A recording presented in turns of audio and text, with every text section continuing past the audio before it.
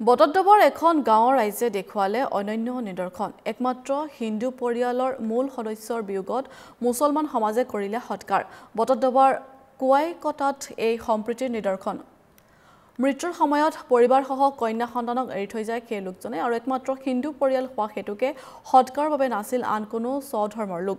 সেয়েহে সম্প্ৰীতিৰ নিদৰ্শনে সৎকাৰৰ বাবে ওলাই আহিল মুছলমান সমাজ। কৰিলে ৰীতিমতে মৃতদেহ সৎকাৰ কিন্তু লোকজনৰ মৃত্যুক লৈ সৃষ্টি হৈছে ৰহস্যৰ।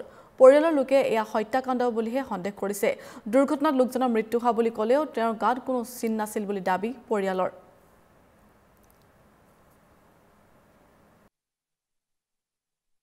তেখেতৰ যিটো মানে কোবাইকটা সত্ৰৰ অৱদান তেওঁলোকৰ পৰিয়ালে ঘনশ্যাম শইকীয়াই নিধি হিচাপে আছিল। তেখেত এই অৱসৰ তেখেত মৃত্যুৰ পাছত আজি এই ভৰত নামৰ ল'ৰাটোৱে আমাৰ কোবাইকটা সত্ৰৰ যি পৰিচালনা সমিতি সেই সমিতিত তেখেত সক্ৰিয় এজন সদস্য আমি আজি হেৰুৱালোঁ। কাৰণ ইয়াত দেখিছে কিমান মুছলিম লোক হ'ব পাৰে। তেখেতলোকে ভৰতৰ শোকত ল'ৰা ছোৱালীকে ধৰি ৰাতিলৈকে আৰু যি এক্সিডেণ্টত তেখেতৰ মৃত্যু হ'ল